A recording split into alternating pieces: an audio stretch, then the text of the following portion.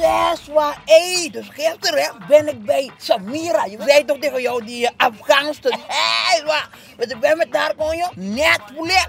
En chill, gewoon. Oké, oké, maar luister, dit is wat we gaan doen, oké? Want je moet begrijpen, dit is groot, bro. Je moet focussen, want wij gaan naar binnen en dan gaan wij al mijn posters plakken tussen al die Netflix-series. Dus mijn moeder is echt emotioneel. Ik blijf nog rusten, Hé, maar waar. mijn moeder is...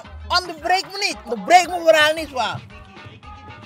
Ja, maar we zijn hier om de show te promoten. Waar. Vertrouw me nou. Vertrouw Angie. Dit komt goed, waar. Bro, we moeten echt, we moeten binnenkomen en moeten mensen denken van, ja man, we moeten representabel zijn. Fred! Ah!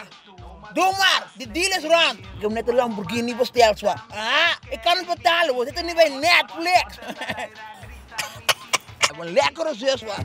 Weet gerust, zwaar. Dit komt allemaal goed. Als ik klaar ben met dit, ik laat iedereen skeun, skeun lopen, man. Skeun, skeun. Al die vrouwen gaan hinken naar huis, hinken.